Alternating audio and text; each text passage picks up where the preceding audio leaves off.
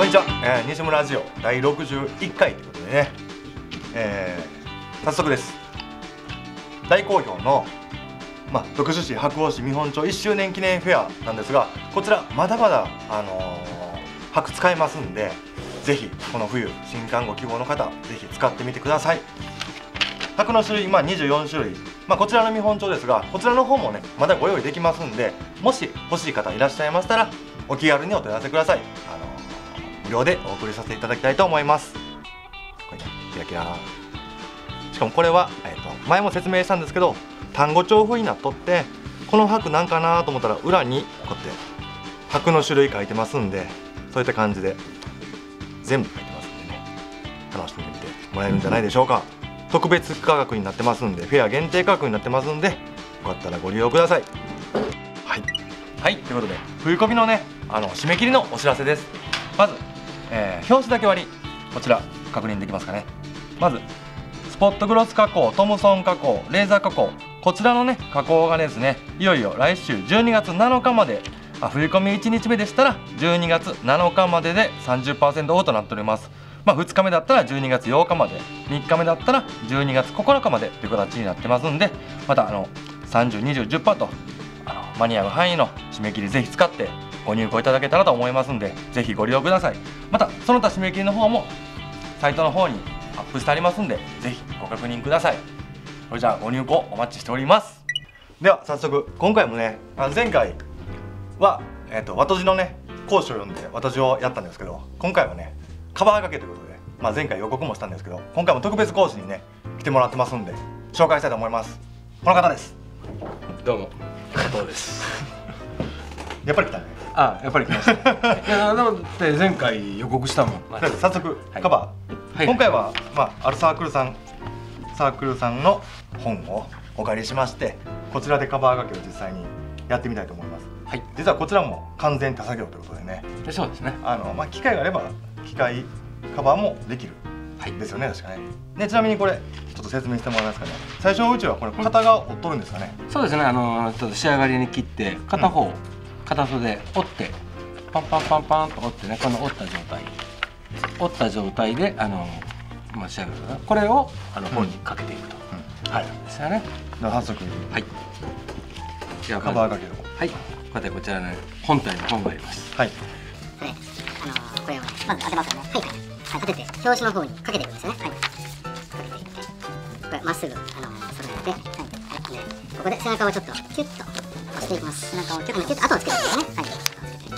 よしね繰り返して繰り返してで、えー、ここでもここでも後をつけていきます。はい。後をつけてですね。ほんであのちょっとまあ右利きな感じですけどあと裏口これまっすぐなってるような感じで、うん、これあのハイシーズよしあまりここきつくすると後で本がねちょっとピュッとなりますからあのあの引っ張っちゃい。ますからはい。はい。でこれまたここでこうやってはい。こうい。う感じでねはい。とあの後をつけてでこれをずれない。ように、取ってるんではい。はい。はい。一丁ありはい。こういう感じですかねこれあのたまにあのカバーを会場でかけてる時言いますよね。うん言いますよね、うん、あの時のにあのあの時ってあの、まあ、その納品した形方にもよるんでしょうけどこれ今回は、うん、まあ、当社があのもし万が一カバーだけのお仕事をさせてもらった時納品する際には基本的にこうやって片側は折っちゃいます。折っちゃいます。よねあのですがそうじゃない場合この平べったい状態で納品されているのをカバーかけてるのをたまにあの会場で見かけるんですけど、うん、この平べったい折ってない状態っていうのはどういうふうにカバーこの場合だと、まあ、この絵だとね背拍子、うん、背拍子、今回だったらまあ、ね。うん、背幅があるとちょっと、うん、ちょっとその部材があれば背拍子をほんの影響をして背拍子を合わせて、ここをこうやって。あ、なるほどね、うん、やっぱりどっか一箇所起点を作っておいて、ね、やるということですね、はいはい、ということで今回はヒギカバー掛けでした。はい。ヒギじゃないか。まあ。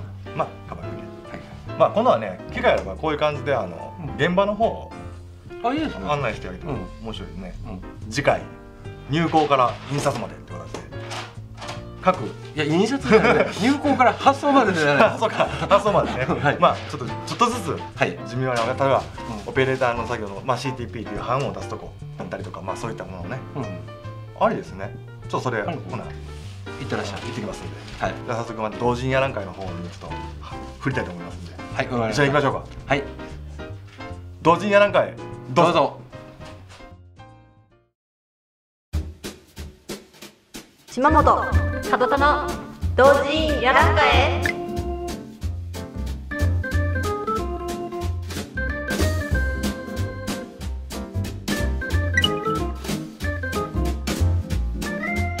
今回はちょっとあの表紙を私が作ってみました。おうおう、うん、なんか最近ねちょっとやっぱ RGB でこう入稿される方が多いので、うん。まあ今回はね Photoshop といううんうん。ソフトを使ってのちょっとお勉強をしたいと思います。これ CMYK と RGB がすごく分かりやすいので、うんうん。まあ、説明の仕方にしやすくなるかなと思ってやってます。うん今回フォトショップは初めて初めてですね。あで、えー、とこれ実は RGB で使っ作っています、ーうん。サムネル目が痛い、そうなんです。レッドグリーンブルーを使ってうん、RGB で3色で表現してます。うんうん。でね以前お勉強したように印刷では RGB は使えないので、これを CMYK に変換するんですが、案外ねやっぱ RGB でしか使えないっていう方がいらっしゃるのかな？ああソフトによってね、うんソフトによってね、うん。見本として CMYK 変化するときにどのぐらい変わってしまうのかっていうのをちょっとやってみたいと思います。これ RGB ですね。それを Photoshop だとうん。うんモードの変換で RGB から CMYK カラーにすることで4色に変換してくれます、処理をします。オッケーと。はい。うわー。ぐっとなんか草色みたいになっちゃいましたけど、渋渋くていいとは思うけどね。シアンとマゼンダとイエローブラックで4色であー。CMYK でこの色になっちゃいました。なんか、うん、さっきまでキラキラって感じだったのに。そうなんですよね。渋くなったね。抹茶やね。そうなんです。残念ながらこうねこういう色になっちゃうのであのーね入稿の際は思った色が出なかったっていういう時はひょっとして RGB でうん。CMYK では表現できない色味を使っちゃってちょっと渋く渋い色になっちゃったってことに。かもしれません。で CMYK だとくすんでしまいますが今回はその対応としてはそうですね。と特色を使ってこう色を表現していくとか CMYK の状態にしといてもう一度自分の好きな色を選んでいくという形での入稿の方があの思ったような色で仕上がるんじゃないのかなと思います。なるほどね。最初からもう CMYK にできる人はもうしちょった方がしとった方がいいですね。イメージにね、はい。近く、がっかりってことになりますので、これちょっとねあの露骨に分かるような色味で置いてましたけど、うん。綺麗なんでやっぱりね意外と使ってこられる方もいるんで、はい、このように変化してしまうということでした。で今回はさらにここからうちのテンプレートに表紙を貼っつけてみようっていうお勉強もしたいと思います。うんうんお願いします。はい、うちのテンプレートこれです。はい、うん、うちのテンプレートなんですが、これ B5 ですね。で、えーちょっと他社さんと違うのかな？変わっているのは左側を基準うんにうん。張り込んでいくタイプになっております。そうですね。他社さんはなんか真ん中始まりだったりします真んもんね中始まりでねここの中央部分から広がるように左右にね。左右に書いていってくださいっていう風になってるんですけどうちは左側合わせであとはここからゼロのところから背を作ってさらに表4を作るという形になってます、ではちょっと貼っつけていってみましょう。今回作ったやつは、えー中閉じなので背は作っておりませんおいはい背幅がゼロ背幅がゼロという方になりますね。でではつけてみましょうか。えい。いきました。はい。ここのトンボの位置はこれが3ミリです。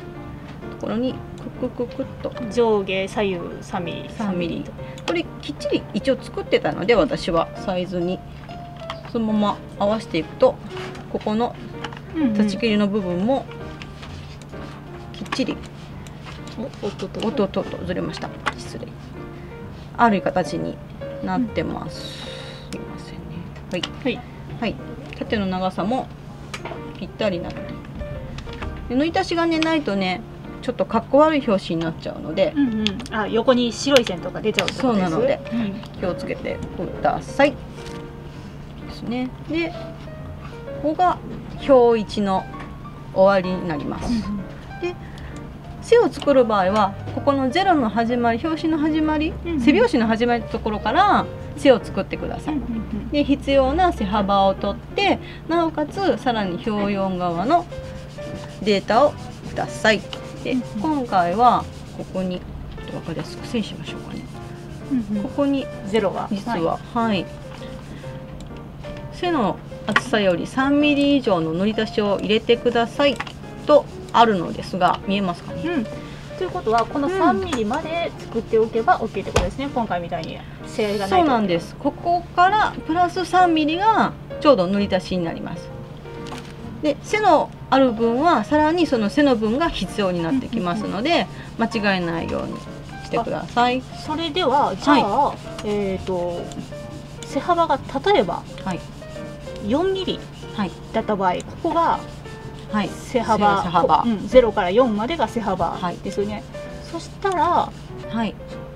そのゼロのところから仕上がり線でうん。塗り足し部分はこれにさらに3 3ミミリ。リ足したで7のとこ7のところになりますね。でこの時点では足りていないことになっちゃいますね。ここの部分をはい。足してあげなきゃいけないってことですね。そういうことです。ここら辺をね、はい。背の必要な本であればそのように作ってくださああ慣れるとね楽かもしれないこれ。い、そうなんですよね。結構あの一枚物の表紙とかだとね、綺麗に左から合わせてなるほ切り取るどこともできるので、うんうんはい。便利なんです。島本さん？はい。さっきねちょっと全体見よったかいけどこれ全体ね、はい。全体ね？そうです。んこのここのここれ気づきました。これ？はい。R18 でございます。マジンコそうです。R18 あのこの本 R18 なんですが、うんうんうん。その場合きっちり R18 明記してください。うん、はい。そうね。でこう引いていくともっと大きくてもいいぐらいなんですけどまあまあまあ。あまあまあまあまあ。でもやっぱりちゃんとでも見える。書いちゃうことがね、はい。大事ってことことろですね。で表一ですもちろん、表一側の見える場所にしっかり明記でお願いします、うんうんうん、うん、この絵で R18 ちょっと気になるね。どういうこと？ご想像にお任せします。うん、まあまあそれはちょっと考えたくないから次行こう。はい。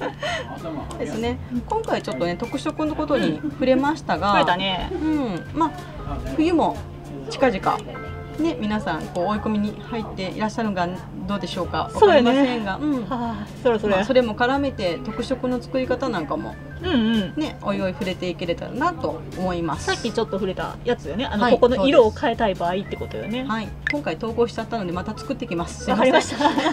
うっかりしてました。はい。じゃあ次また教えてください。はい。よろしくお願いします。よろしくお願いします。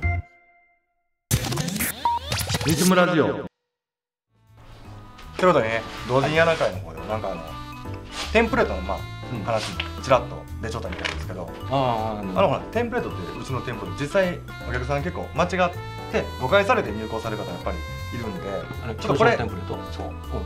直しましょうか、そうやねうん、もっと分かりやすいものに。一番シンプルになってたらどんなのあります？もうあの各設表仕事のあのテンプレート作ったの？ね、うちのテンプレート今のものに慣れた方も当然いらっしゃるんでもちろん残しちゃってうん。ちょっとその背幅ごとのものっていうのもまあ今後作ってみても面白いかもしれないですね、いいんじゃないですか。